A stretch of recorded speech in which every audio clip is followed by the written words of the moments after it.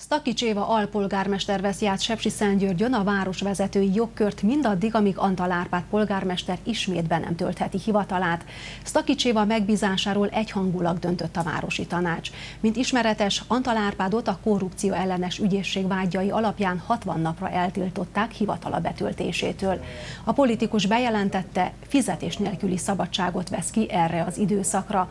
Az alpolgármesterek elmondták, nem tartják a kapcsolatot Antal Árpáddal, mert nem akarják veszélybe sodorni a jogi felügyelet szabályainak megsértése miatt.